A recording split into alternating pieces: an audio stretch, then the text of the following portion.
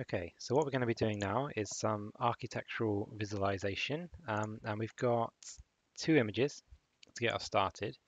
We have this one, which is like a planning drawing, and we have a reference image of what the final building will look like. So if I just open up the plans, uh, you can see here that we don't have any dimensions or anything as yet, okay, which is fine. Um, we'll, we'll get to that point eventually.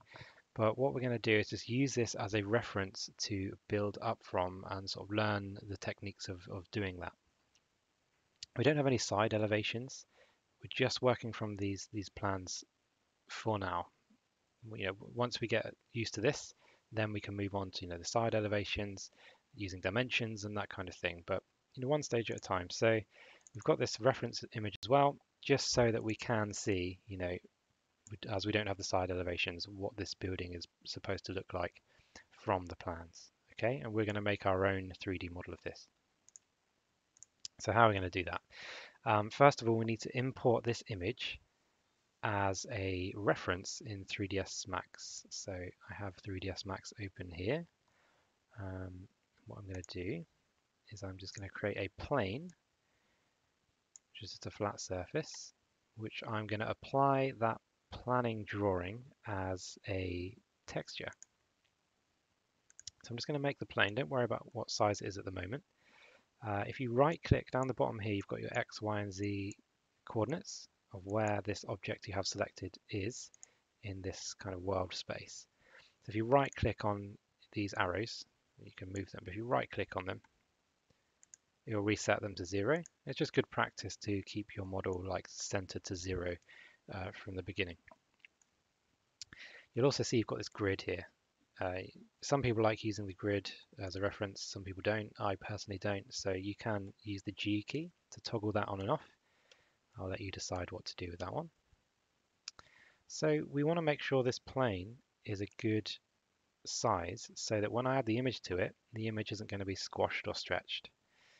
So um, if I just, sorry, come to my planning drawing here, I need to keep the right kind of aspect ratio of the image. So I'm going to right click it, go to the properties of the image, go to details, and you get the dimensions of the image. Yeah, so how many pixels it is wide by how many pixels it is high. If we use that as the actual size of the plane, then the image will not be squashed or stretched. So it's 545 by 564. So come to the modify tab, this here. And the first thing I've noticed is that I actually have my 3ds Max set to uh, centimeters as the units. You might have the same or you might not. Um, I'm not working with dimensions currently, so I'm going to change this back to the just default settings. So I'm going to go to customize, unit setup, and I want this to just be generic units for now. When we come to using dim dimensions, we use these, but for now, generic units. I'm going to push OK. All right. So what was it again? Forgotten already. 545564. 545. 564. Okay. Now my plane is the same size as that image. Great. So I'm just going to turn on my edged faces. All right. Make sure you do the same. I can see that I've got some geometry that I'm not going to need, right? Because these segments are already turned up to four. If you again, if you right click those, the length and the width, that will just turn them off. So we don't have any unnecessary geometry or any lines going in the way, getting rid of in the way of my reference image. Next up, I want to add this as a texture. So I'm going to go up here to my material editor. there it is. Um, I don't need any fancy materials for this, so it's just going to drag in a standard one. Okay, and if you're just affecting the base color, you want to uh, use this diffuse color channel. So come up here, general bitmap, and then find wherever you saved that planning drawing. Um, I just drop mine into a new folder here, and there's plans.